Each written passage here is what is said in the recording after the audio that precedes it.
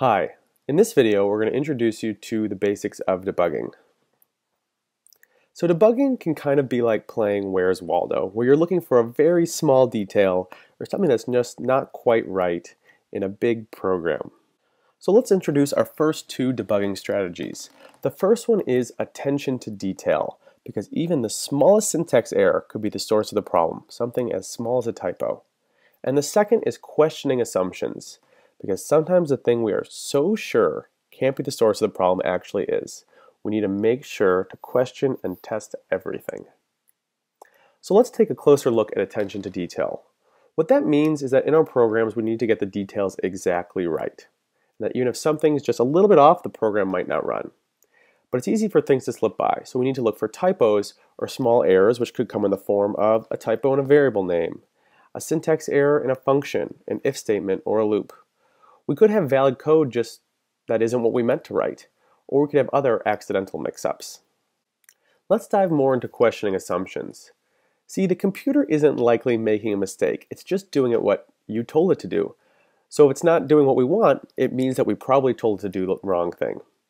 So this means likely we've overlooked something. We could have overlooked something as simple as the problem description. We may have made a mix-up on our pre and post conditions that we thought Karel was ending up in one state before starting a new function, and that just wasn't the case.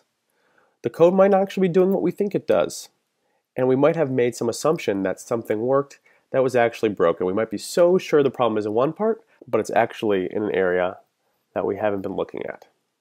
So remember, tricky bugs often have simple sources, whether it's in a 10-line Karel problem or in a million-line code base. These core strategies, attention to detail and questioning assumptions, are the two best tools for any programmer. So the first step is just to always double check your code. So let's debug a problem together. Okay, so in this exercise, we are getting Karel to run laps, and so we're essentially trying to end with eight balls in the corner, run eight laps. So relatively straightforward running the racetrack. We can see we have a loop here to run a lap, and each lap is running our sides, and a side says, okay, while the front is clear, move, then put a ball when you get to the corner and turn left, and you're ready to start the next side. So let's see what happens when we try to run this. Oh, so it says bad error on line 16, so it doesn't want to run. So if we look at line 16, what we notice is, you know, we didn't have a good attention to detail. We forgot our parentheses. So we still have for i in range, that looks right, but remember we need to add parentheses around it. That's our correct syntax for our for loop. So now with that in place, we should hopefully loop eight times in our lap. And so let's go ahead and try that.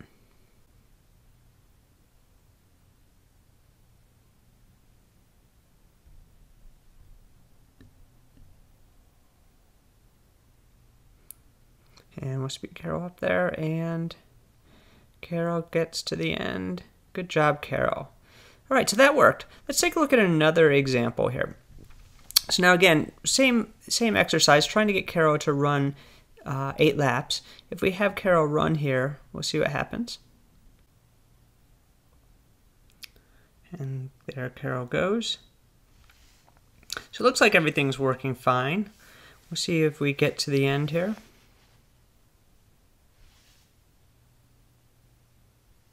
Uh-oh. Karel ran too many laps. So we need to look. It says there should be only eight balls, but there's 10 balls in these different positions. Um, so if we look, let's see what's going on here. So we have run side.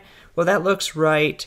Run lap. Well, it looks like we have too many in our range here. So we're running a lap four, we're running five sides in our lap. Well, our lap should only have four sides in it. So let's go back and reset that to four. Uh, and then we'll give that a try. So now let's reset our world and run that again. And Karel is off to the races once again.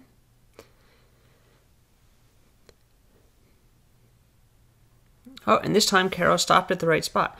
So again, another example where attention to detail is important, especially you know, when you're doing loops, we remember that if it says four, i is going from zero to 1 to 2 to 3 is going to do 4 times. We need to make sure we're getting those details right. Otherwise, we can get errors. And we saw sometimes we get errors where the code doesn't run, and other times we get errors like this where the code actually runs, but we don't get the actual correct results. So this is kind of a start of our debugging and you're going to take off from here.